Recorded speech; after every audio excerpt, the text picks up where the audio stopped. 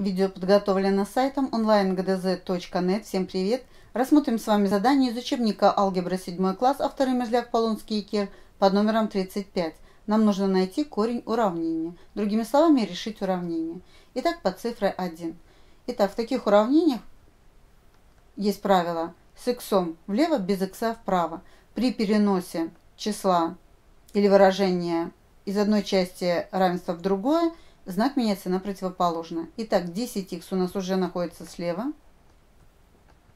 Смотрим, а справа от знака равно у нас находится 8х. Переносим из правой части в левую и меняем знак на противоположный. Перед 8х не стоит никакого знака. Можно поставить плюс, меняем на противоположный, это уже будет минус. Минус 8х равно. Справа у нас без х минус 9, никуда не переносим. Как было слева от знака равно, так и осталось. А вот справа, а вот слева у нас 7, переносим в правую сторону, меняем знак на противоположный. Было плюс 7, станет минус 7. Упростим левую и правую часть. Итак, приводим подобные слагаемые с одинаковой буквенной частью х, складываем коэффициенты или числовые множители 10 плюс минус 8. Или просто от 10 отнимаем 8. Это будет 2. И дописываем буквенный множитель общий x. Справа минус 9 и минус 7. Сумма двух отрицательных чисел. Число отрицательное. Ставим знак минус. Модули складываем. К 9 прибавляем 7. 16. Ну, теперь разделим обе части уравнения на 2. 2х делим на 2. Это будет х минус 16 делим на 2. Частное двух чисел с разными знаками. Число отрицательное. Ставим знак минус. 16 делим на 2. Это 8. Получили х равно 8. Мы нашли корень уравнения.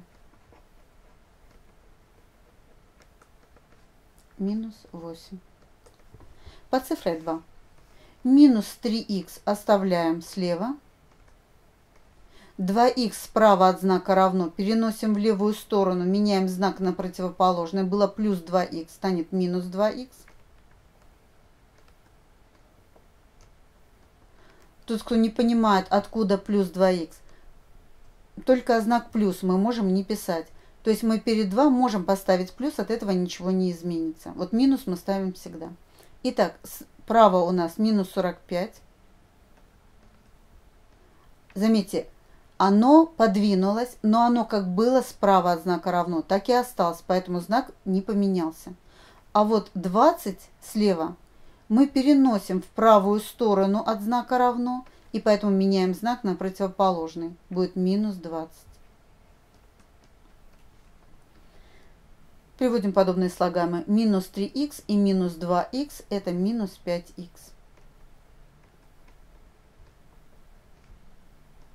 Минус 45 и минус 20 минус 65. Разделим обе части уравнения на минус 5. Минус 5х делим на минус 5. Это остается х.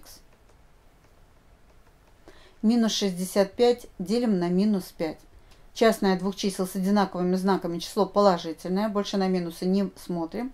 А теперь 65 делим на 5. Как это сделать просто? 65 можно представить как 50 плюс 15. 50 делим на 5 – 10, 15 делим на 5 – 3, получаем 13. Подчеркиваем. И ответ 13.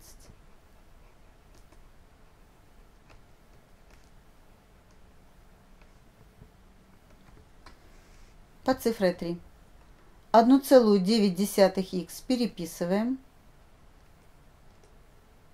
Оно было слева.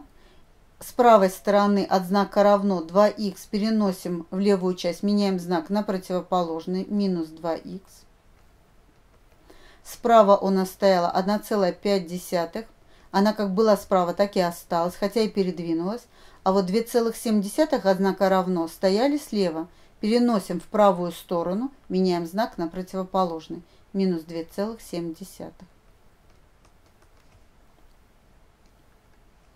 Итак, 1,9х минус 2х.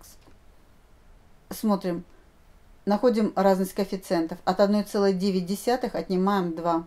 Мы от меньшего числа отнимаем большее, правильно? Поэтому мы, другими словами, складываем два числа с разными знаками. Модуль большего отрицательного числа, значит результат будет отрицательный, ставим знак минус. А теперь от большего модуля отнимаем меньше. От 2 отнимаем 1,9, получаем 0,1. И множитель x. От 1,5 отнимаем 2,7 или складываем два числа. Положительное число 1,5 и отрицательное число 2,7, минус 7,2. Модуль больше у отрицательного, поэтому результат будет отрицательный, ставим знак минус. А теперь от большего модуля отнимаем меньший. От 2,7 отнимаем 1,5, получаем 1,2. Ну и теперь нам осталось разделить обе части уравнения на минус 0,1. Или умножить обе части уравнения на минус 10. Если мы минус 0,1 умножим на минус 10, минус на минус дадут плюс. 0,1 умножаем на 10, разрядная единица передвинет запятую на один знак, это будет 1, а 1 умножить на х – это х. Ну, а теперь минус 1,2 умножаем на минус 10. Минус на минус дадут плюс. А теперь 1,2 умножаем на 10 на разрядную единицу, которая передвинет запятую справа на один знак. Получим 12.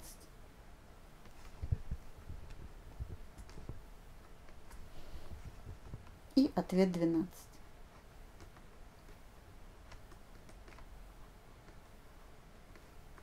И перепишем четвертое уравнение. Итак, с x влево, без x вправо. 13 18 x переписываем.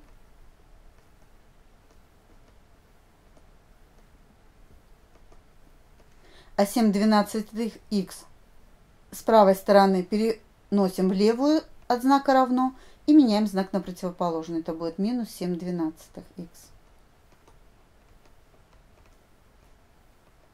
С правой стороны у нас от знака равно, как было 8, так и останется. Единственное, можно плюс не писать. А вот с левой стороны 13 переносим в правую сторону. От знака равно меняем знак на противоположном. Будет минус 13. Находим разность числовых множителей. От 13 18 отнимаем 7 12. Для этого нужно найти общий знаменатель. Это будет Сначала найдем общий делитель наибольший для 18 и для 12 это 6. 18 это 6 умножить на 3, а 12 это 6 умножить на 2. И тогда общий знаменатель будет 6 умножить на 3 и на 2. 6 у 6 36. 36 делим на 18, находим дополнительный множитель в первой дроби, это 2. И 36 делим на 12, получаем дополнительный множитель 3. Ну теперь мы с вами можем 26 36 вычесть 21 36. Знаменатель переписываем 36. А в числителе разных числителей от 26 отнимаем 21, получаем 5. Дробь несократимая. Итак, 5 36 x равно от 8 отнимаем 13. То есть мы к 8 прибавляем отрицательное число минус 13. Сравниваем модули. У минус 13 модуль больше, потому что он будет равен 13. 13 больше, чем 8. Значит, результат будет отрицательный. А теперь из большего модуля отнимаем меньше. От 13 отнимаем 8, получаем 5. Как нам с вами получить коэффициент перед x единицу. Для этого дробь 5 36 нужно умножить на обратную дробь на 36 пятых. Если мы обе части уравнения умножим на одно и то же число, неравное нулю, то мы получим уравнение с теми же самыми корнями. Итак, 5 36 умножаем на 36 пятых – это 1. 1 умножаем на х – это х.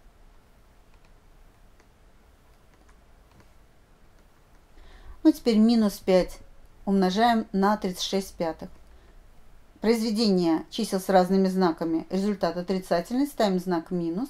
А теперь как мы 5 умножаем на 36 пятых. Мы 5 умножим на числитель на 36, а в знаменателе у нас так и останется 5. 5 и 5 мы сокращаем, и остается 36. Итак, х равен 30, минус 36.